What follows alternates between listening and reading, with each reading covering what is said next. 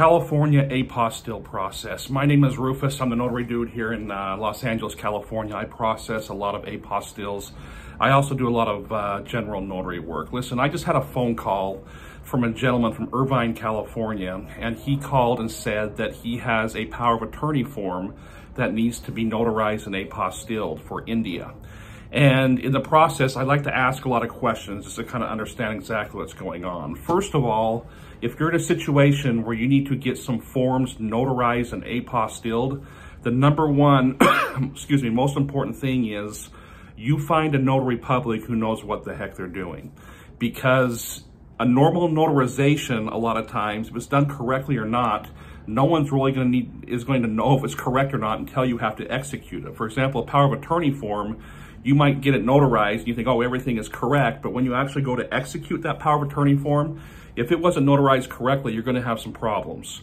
So the first thing is you need to find a notary public who's highly rated, is experienced, and knows exactly what they're doing. So I explained that to him. I'm in Monterey Park. He's in Irvine. It's a little distance away. I don't want to drive all the way to Irvine to do it.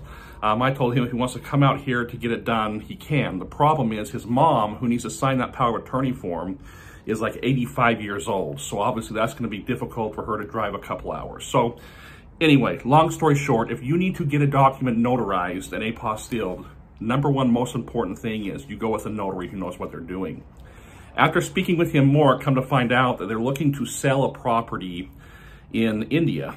And before they're going to let them sell that property in India, the India government also wants other documentation notarized and apostilled, like uh, a passport, driver's license, some bank records. Um, he said there's like eight or nine different forms that he needs to have notarized and apostilled.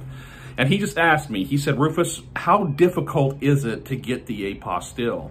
You know, getting the apostille for California and other states for that fact, it's not that difficult to do. The biggest obstacle you're going to have is making sure the documents we have, you have are notarized correctly.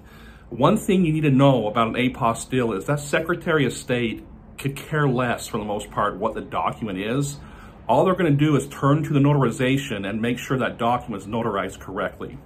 So he's going to come to me next week. We're going to get everything uh, notarized. I'm going to take it to the Secretary of State to get the apostille done. Look, if you're in a situation where you need to get an apostille done, especially in California, you need guidance, call me. My phone number is below. I'm the notary dude here in Los Angeles, California.